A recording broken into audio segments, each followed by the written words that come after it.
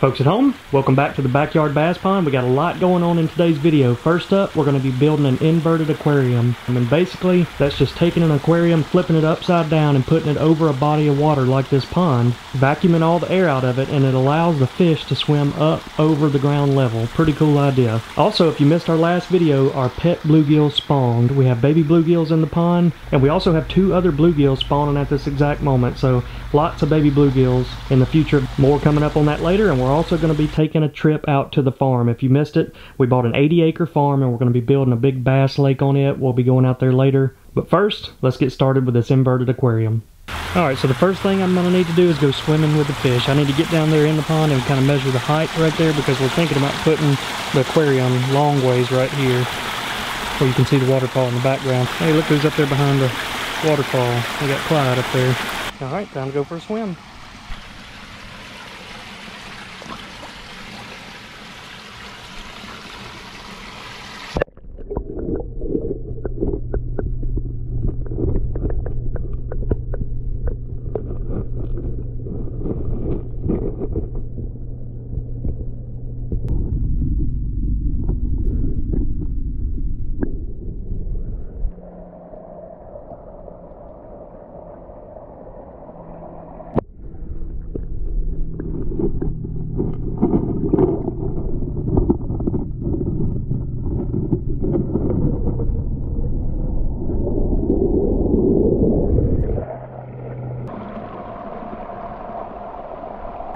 So here it is, folks.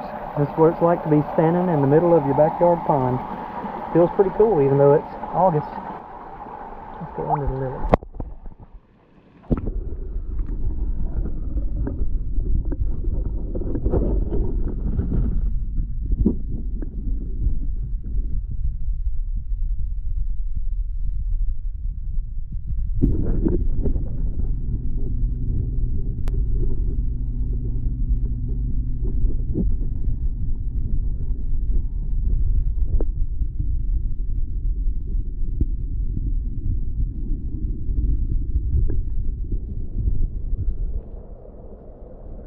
Alright, so it just so happens that three stacked cinder blocks is pretty close to the height I need, so we're going to stack them like that in the pond, put the aquarium upside down over the top of it, but first I'm going to give these guys a good wash, and the last thing I want to do is have a bunch of concrete dust in the pond. So now we're going to make use out of the old Ninja Turtle tank. Nothing in there at the moment, so we're going to flip it upside down, put it in the pond. Alright folks, got everything set up. We got the cinder blocks out there. This is the size of the aquarium we're going to be using, and then we're going to use this to suction the air out of it once we flip it upside down. I'm trying to get started a little bit early this morning so we'll have plenty of daylight to complete this project, and also really good lighting over here at the pond. You can see the fish a lot better this time of day.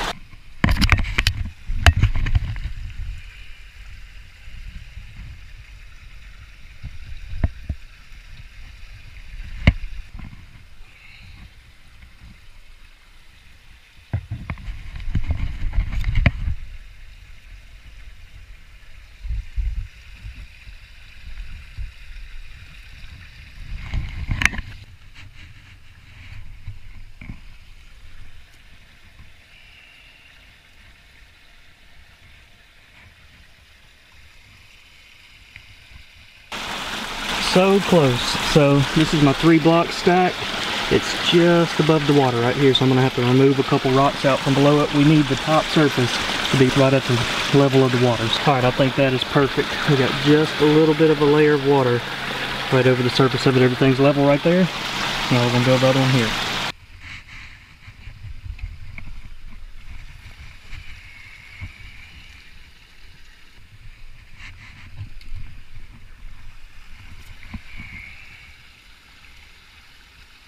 All right, this is the first attempt. Probably not going to work. May have to make some adjustments, but here we go. Let's give it a shot. All right, so we were really close. We got the water just above the edge all the way around, except for on the back side. I don't know. We may give it a shot. It's going to be really close right there, but it's pretty level. You can see the water level is pretty consistent. So we may have an issue with the water coming back out right there, but I think we can give it a shot. All right, here we go. Let's give it a shot. We're just trying to get all the air out of there. Look at that. That is awesome.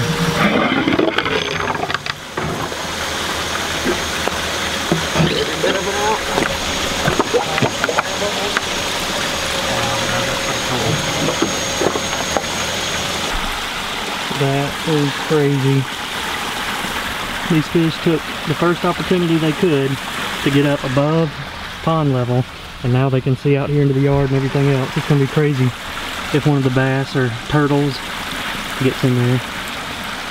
Might end up putting some fish food in right here. So I think right now I'm just gonna let it settle down, hop out of the pond, let all that dirt settle, and just see what happens. We still got a little bit of air up here in the top. I noticed just a second ago I made a wave and it kind of let some more air in there, so pretty cool little thing to play around with. Mosquito fish definitely love it. That's too cool, guys.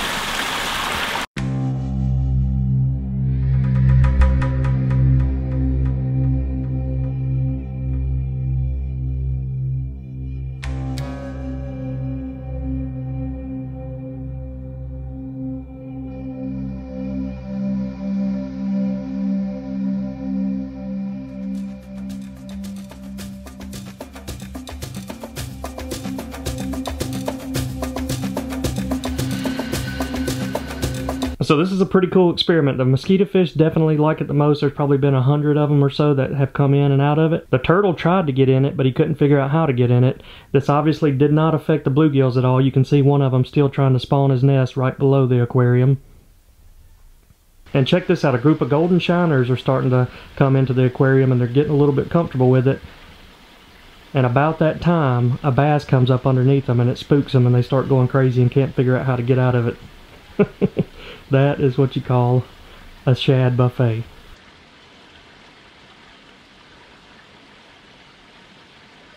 So take a look at those bricks holding up the right side of the aquarium. Over the course of the day you can see the water level has dropped a little bit and watch what happens when it gets just a little bit below that brick level.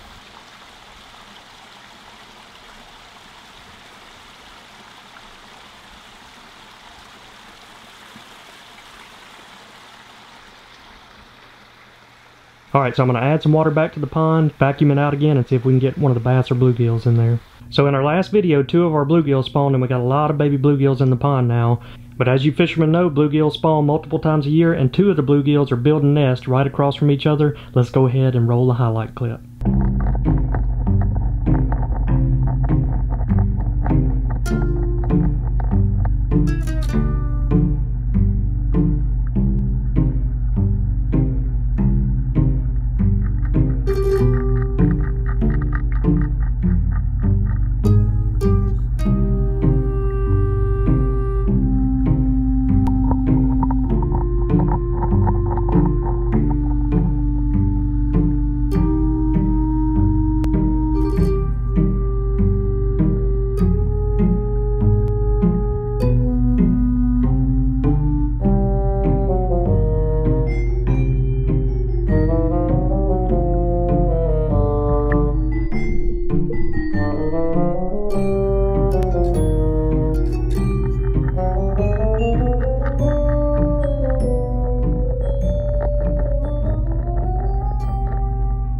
So those are both male bluegills, and their goal is to get this big female bluegill to come by and lay her eggs in their nest. I'll keep you guys posted on which one she chooses.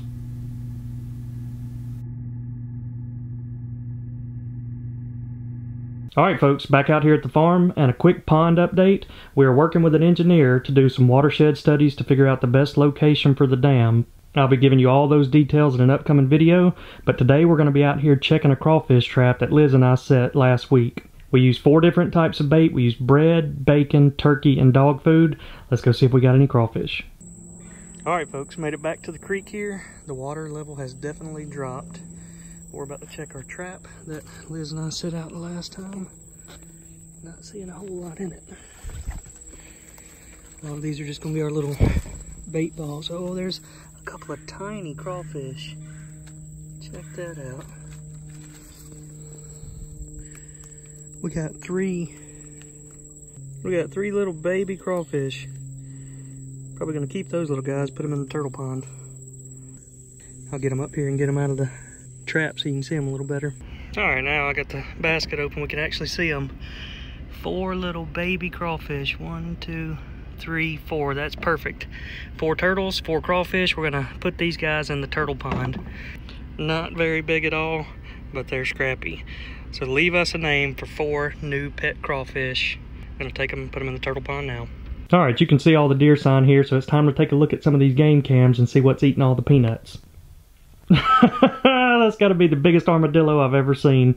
He found a gold mine when he found this peanut farm. Next up, we got our fox squirrel that we call Foxy, and there's a lot going on in this photo. First off, he's bowed up at all the crows around there that are trying to take his peanuts.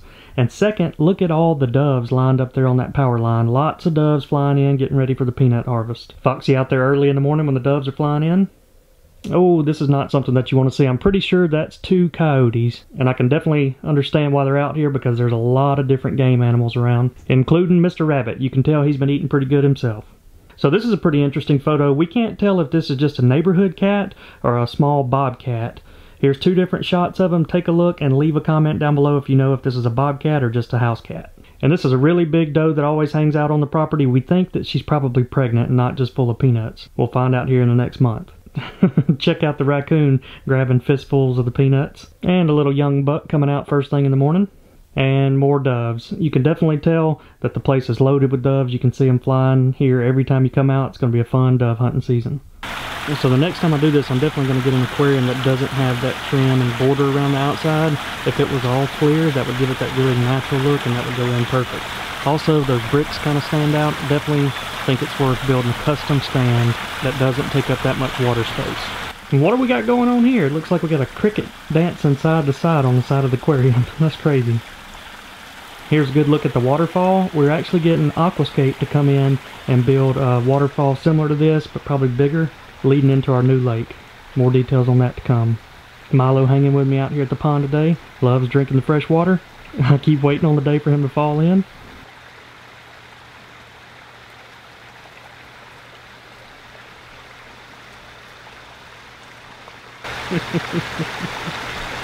it's starting to be Milo's favorite thing to do. Come stand on the rock, just look into the pond. He says it's so peaceful and relaxing.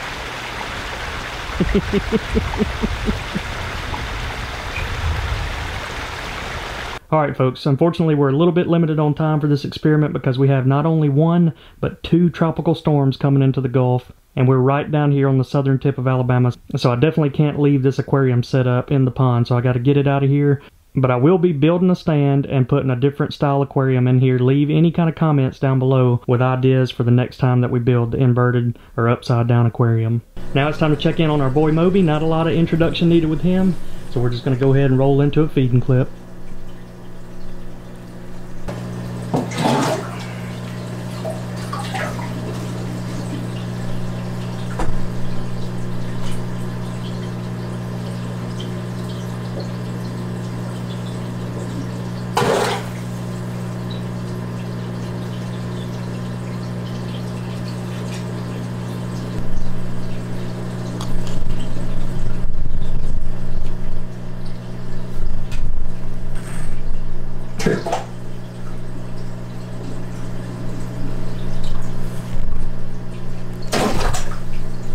Alright folks, that's going to wrap this one up. Make sure you're subscribed so that you can follow along with all these adventures. Hope you all enjoyed this one, and we will see you all next time.